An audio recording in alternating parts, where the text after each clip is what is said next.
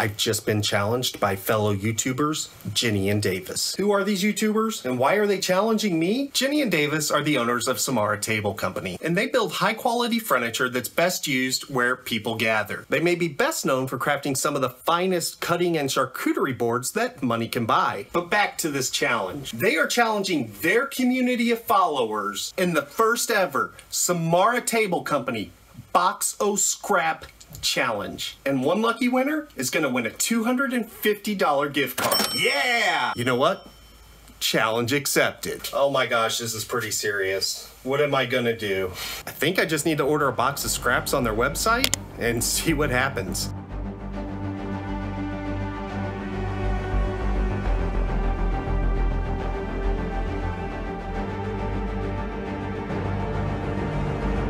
The box from Samara Table Company has made it to the shop. I have no idea what's going to be in here. Let's find out together. And here's what's in the box. I even got my very own Jennie and Davis sticker. That'll go on the wall back there somewhere. So first of all, nice piece of walnut. Ooh, this one's cool. It's got like a live edge to it here. Some really beautiful walnut here. All right, so that's what was in the box. I'm actually super duper impressed. This is a lot of great wood. Now I need to figure out what I'm gonna make with all of this. I want whatever I make to be reflective of the Samara Table Company brand. Maybe some sort of household good. Maybe something that can bring people together. I've had some time to think about this, and my first thought was to make another walnut and epoxy chessboard. But you know, I really want to try something new. But I will leave a link for that video down below if you want to watch it next. Then I thought about making some sort of knife holder to go along with the cutting board theme. Or maybe some sort of candle holder since Jennie and Davis just launched a new line of candles. But after seeing all of this beautiful walnut, I knew I had to come up with something else. And I was really struggling. Then it hit me. While I was reviewing a long list of projects I'd like to make someday, a Jenga set. Nothing brings people together like a fun game of Jenga. But there's just one problem. A Jenga set with 54 blocks needs 13 and a half linear feet of one inch material to complete a full set. And I don't just want to make the blocks, I'd like to make a holder for it too. However, after doing some calculations, I think I can get a full set of Jenga blocks and a holder out of this box of scraps if I can get a little bit creative and figure out a way to make this material stretch as far as possible. The solution is to add some colored epoxy reflective of the Jennie and Davis logo to some of these blocks to make it go a little bit further. Let's get to work. First, I need to make a mold to hold the epoxy and walnut scraps. I use melamine to make my molds. I take a few quick measurements and cut some parts down to size.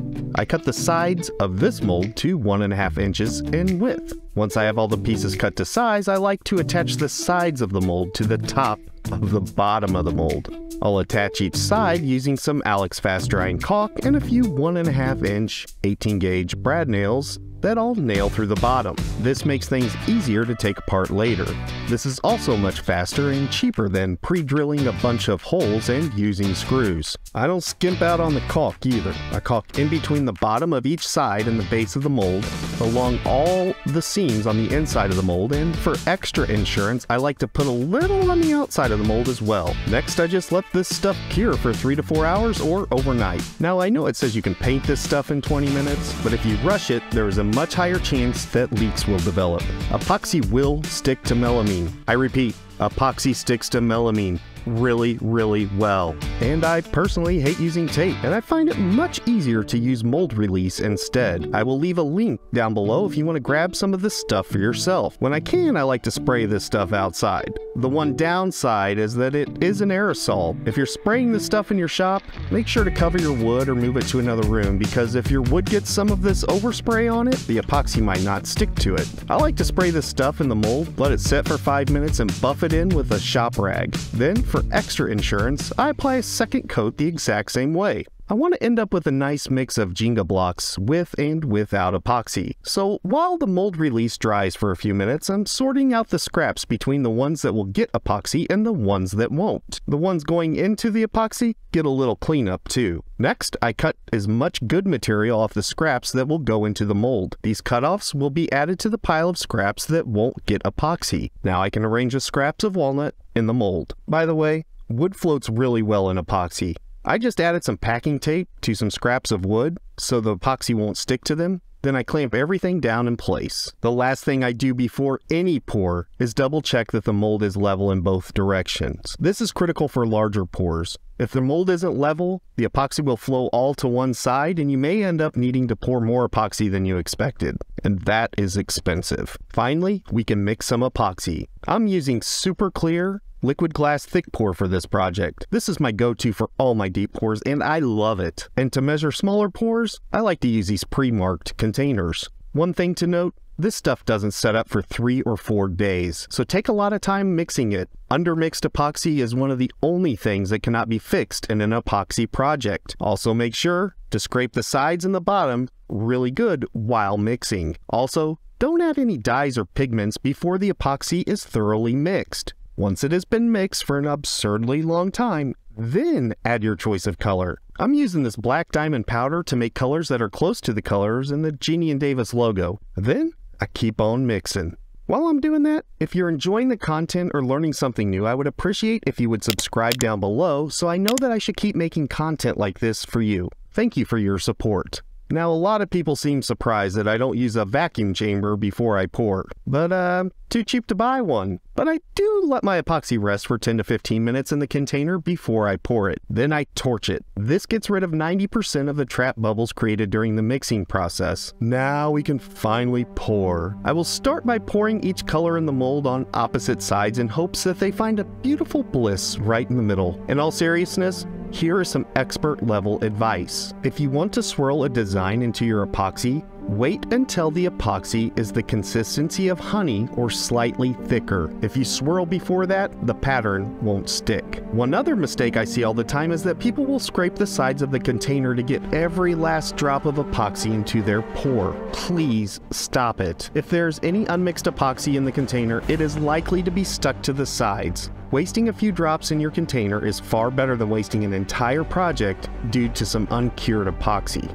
Now I just babysit for the next few hours. I check for leaks and pop all the air bubbles that arise with a blowtorch. The next part is boring. We just wait four or five days for the epoxy to cure hard enough to finish it. Epoxy will continue to harden a little more each day for several weeks, so the longer you can wait to let it cure, the easier it will be to sand and finish it. For my larger projects, this can be 30 plus days. While that cures, I decided to get one side of the non-epoxy scraps jointed. I'll wait until the epoxy cures to plane everything down to a final thickness. Fast forward a few days using the power of YouTube and we can get this thing out of the mold. Here, I'm just doing a light sanding on the bottom of the epoxy chunk because the mold release is so slick that the planer rollers will slip as it's going through if I don't do this. Finally, I can get everything planed down to a final thickness of 3 quarters of an inch. Also, I figured it would be easier to plane this entire chunk of epoxy down to thickness first, then cut all the strips to width at the same time. Now it's back to the jointer to get one straight edge on all these pieces before ripping them down on the table saw.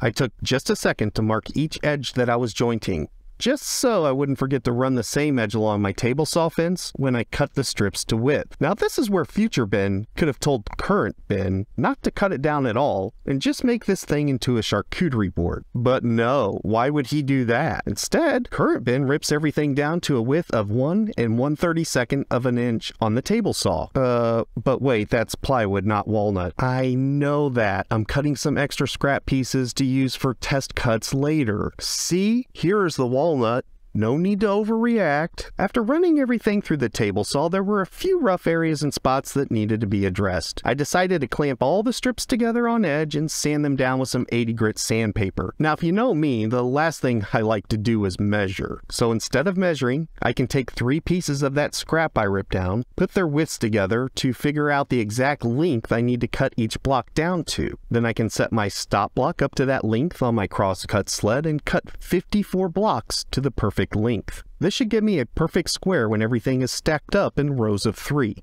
These look great, but now I need to make a holder. The holder will have two sides and a base. There's just one problem. One of the scraps I need to use has this curvy edge on it, and I don't want to cut off the live edge because it will give the holder a little character. I decided to tape this bad boy down to a piece of plywood using the blue tape and CA glue trick. Then I ran it through my table saw to make that curvy edge perfectly straight. Now I have two pieces I can use for the sides of my holder. What? You can't hear me? Take your ear protection off, gosh. I said you now have two pieces you can use for the sides of your holder. You're welcome. Next, I planed down the sides to one and a half inches in thickness. Just look how happy that guy still is. He has no idea how much sanding is in his future. Poor guy.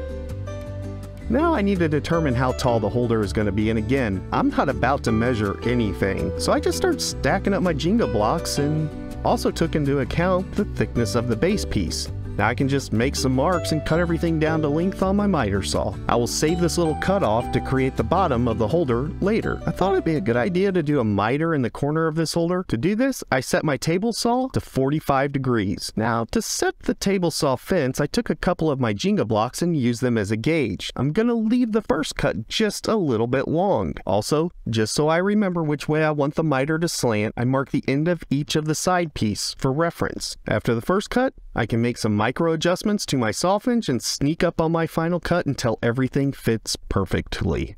Now I just glue this contraption up. I taped the miter edges together with some blue tape, flipped it over, spread some Titebond 2 on each edge, spread it around with my trusty finger, and folded this thing in half. Then I added a couple of these right angle clamps, which have a link down below if you want some by the way, to hold everything in place while the glue dries. This couldn't have gone any better. Just look how happy this guy is. He has no idea how much sanding's in his future. Oh well, moving on. Now I want to finish off the corner of this holder with some splines. I cut the slots for each spline on my table saw using the spline cutting jig thingy I made. Next, I planed down some of the lighter walnut from the box of scraps to make the splines. Now my planer wouldn't go low enough to get the strips as thin as I needed, so I used some more blue tape and CA glue to attach the walnut strip to a piece of plywood to make it thick enough to trick my planer. This thing went full send through my planer until it was the perfect thickness. The splines get chopped down into smaller bits and then they're glued in place and set aside to dry while I cut the base for the holder. The base is going to be simple. I took the cutoff we saved from our side, cut it down to size, and glued it in place, leaving the knot facing out to add some character. A few clamps will hold it in place after I make sure it is perfectly square. And just like that, the splines are dry. I can trim them down with a flush cut saw and give them a quick sanding to get them perfectly smooth. Oh yeah, that looks nice. And this is where past Ben is laughing at current Ben, because now current Ben gets to sand all these blocks for the next few hours. Yeah, I should have just made a charcuterie board. You see, each block has six edges. That's 324 total freaking edges. And each freaking edge is sanded with three freaking grits of sandpaper. That's a grand total of 972 little edges to sand. And that isn't including the holder. I also knocked down each corner and edge just a little with a 220 grit sandpaper. And now for the moment we've all been waiting for. Or at least the moment I've been waiting for for hours now. That's right, it's finish time! I am finishing this product with the Black Forest Monocoat Furniture Oil. I have done reviews on this product in the past and there are links to the videos down below. But basically, to apply this stuff, you just buff it on with a white buffing pad and wipe off all the extra with a shop rag until it feels dry. It's pretty darn easy, and a little goes a long way with this stuff. One thing that did help me speed things along was batching each step of the finishing process. I put oil on 10 or 12 blocks at a time, then wipe them all down at the same time with a shop rag. Either way, this also seemed to take an eternity. That's it, the last piece. My hands are killing me. One of my favorite things to do on a project like this is add these little felt feet. It's like putting icing on the cake. One thing to note if you're going to make something like this for yourself, the epoxy adds a lot of noticeable weight over just the wooden pieces. I'm really looking forward to see how I can use this information against unsuspecting opponents. I just want to take another second to thank Jennie and Davis one more time for putting this challenge together. If it wasn't for them in this challenge, I'm not sure I would have ever marked an epoxy and walnut Jenga set off of my wish list. And to top it off, I still have some more great scraps that I can use for something else. Also, if you enjoyed this video, then go ahead and click this video on the screen right here. The YouTube algorithm's convinced you're to love this video as much as you love this one, and it might actually know you better than you know yourself. I know, right? Thanks for watching. See you next time.